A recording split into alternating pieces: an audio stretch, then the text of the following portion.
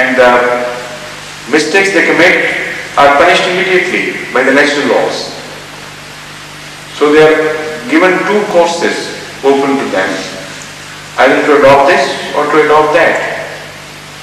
And it is the survival of the fittest in the sense that the more intelligent, more conscious a being is, ultimately it breaks down to consciousness. I mean intelligence, as we study in, in the context of uh, the early life, is synonymous with uh, consciousness. So when I say intelligence, I mean consciousness. When I say consciousness, I mean intelligence. So their conscious, the level of their consciousness is uh, the determining factor for certain actions they take, for certain movements they make, and uh, if the decision is wrong, they are punished. With the result that more conscious a being is, the greater ability it has for the survival.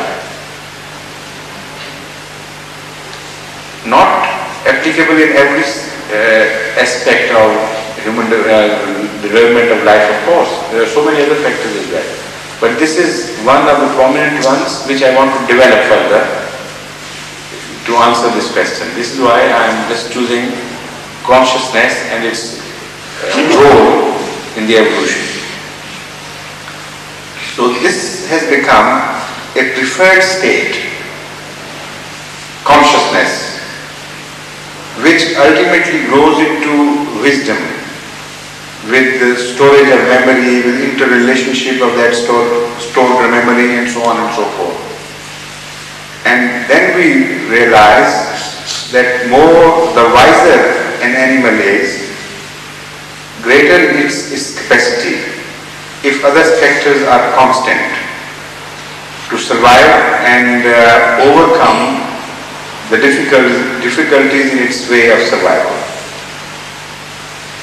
So we are taught from that time that if you commit a mistake, you will be punished.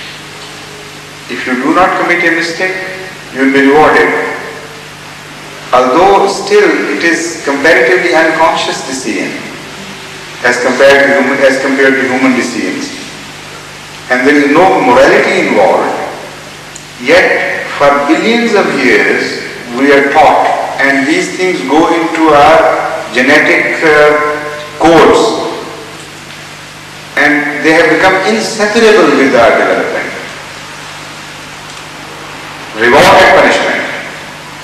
These are the two ultimate goals towards which life is being pushed on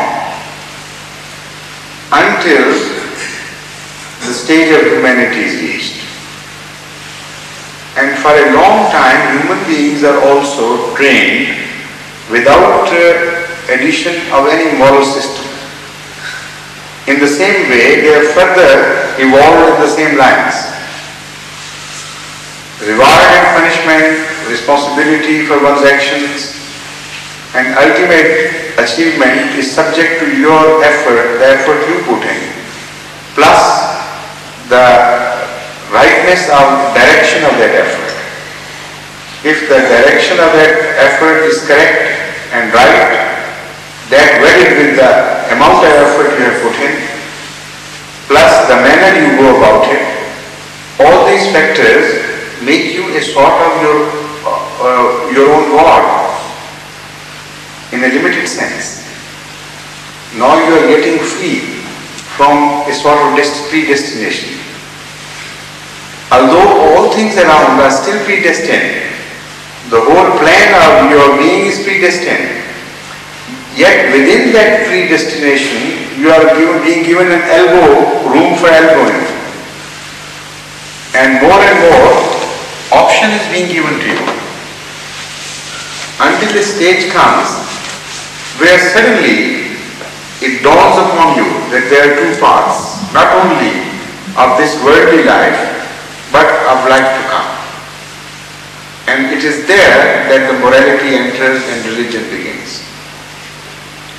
And before that moment dawns upon humanity, that is the early prophethood, everything is well prepared and the man and man is fully equipped with all the necessary prerequisites for making his own decisions in important matters.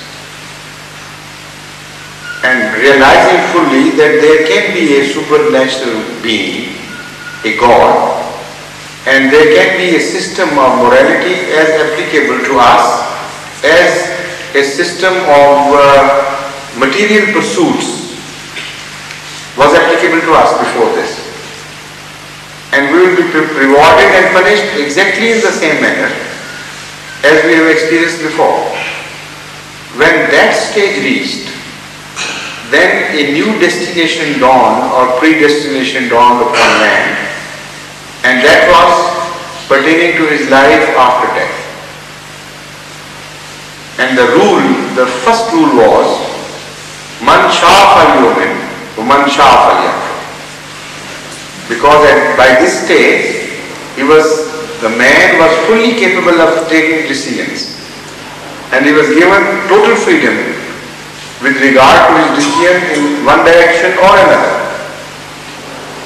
So that is, despite the fact that the whole platform is predestined, within that platform you are given room to move about. Like you can move uh, in, in, in a plane in opposite direction to which plane is moving.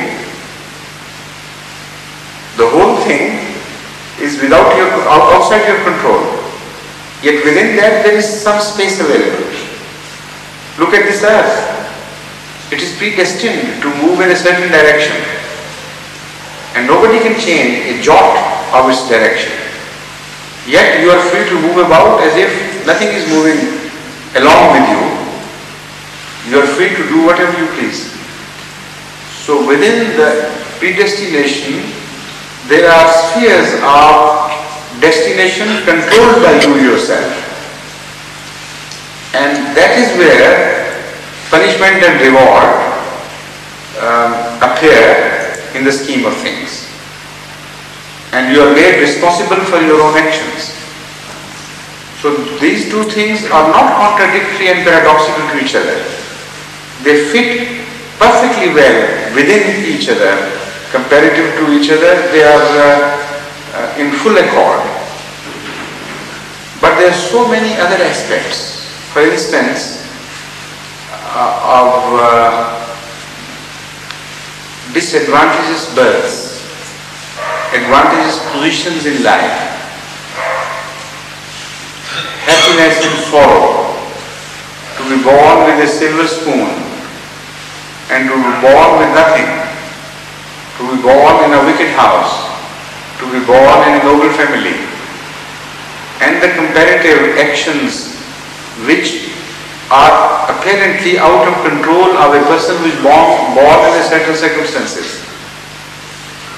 All these factors, plus the religious factors, some are born in Christianity, some in Hinduism, some, some in Confucianism, and all this adds to the confusion of this destiny within predestination.